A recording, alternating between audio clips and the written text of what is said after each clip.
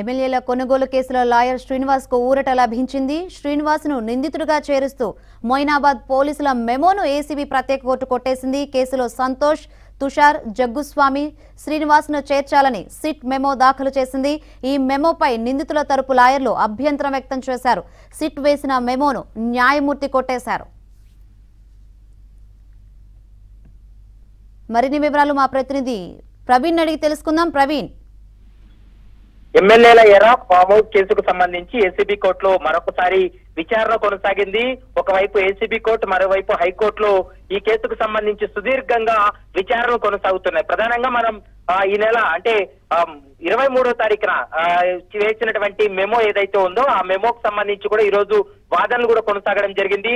గత నెల ఇరవై మూడో తారీఖున వేసినటువంటి మెమోలో ముఖ్యంగా ఏ ఫోర్గా బిఎల్ సంతోష్ను ఏ ఫైవ్గా తుషార్ ఏ సిక్స్గా జగ్గుస్వామి ఏ సెవెన్గా అడ్వకేట్ శ్రీనివాసన్ పేర్లు చేరుస్తూ ఒక మెమో ఏసీబీ కోర్టులో దాఖలు చేశారు. ఆ మెమోను తప్పుపడుతూ ఇప్పటికే నిందితుల తరపు న్యాయవాది తమ వాదనలు వినిపించడం జరిగింది.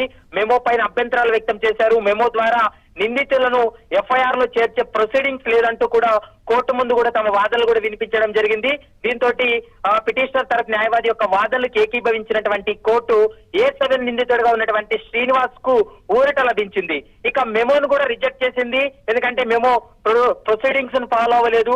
ఎఫ్ఐఆర్లో చేర్చే విధంగా ఎలాంటి ప్రొసీడింగ్స్ లేవనేటువంటి అంశాన్ని కోర్టు దృష్టికి తీసుకెళ్ళినప్పుడు పిటిషనర్ తరపు న్యాయవాది వాదనలకు ఏకీభవించి మెమోను కూడా రిజెక్ట్ చేసింది. టెక్నికల్గా కేవలం శ్రీనివాస్ ఒక్కడికి మాత్రమే ఊరట లభించింది. కానీ మెమో రిజెక్ట్ కావడం తోటి ఏ ఫోర్ నిందితుడుగా ఉన్నటువంటి సంతోష్ కావచ్చు ఏ ఫైవ్ నిందితుడుగా ఉన్న తుషారు జగ్గుస్వామి. వీరు కూడా ఈ ఊరట లభించినట్లే ఉంటుంది. ఎందుకంటే మెమోనే రిజెక్ట్ అయిపోయింది కాబట్టి వీరందరికీ కూడా ఊరట లభించింది అనేది కూడా స్పష్టంగా తెలుస్తుంది. అవసరం అనుకుంటే మరొకసారి ఒకవేళ వీళ్ళు నిందితులుగా చేర్చాలనుకుంటే మరొకసారి మెమో దాఖలు చేస్తారా?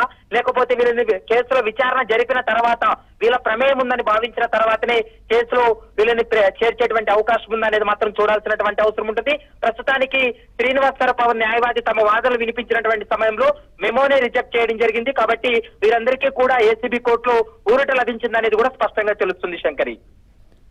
రైట్ ప్రవీణ్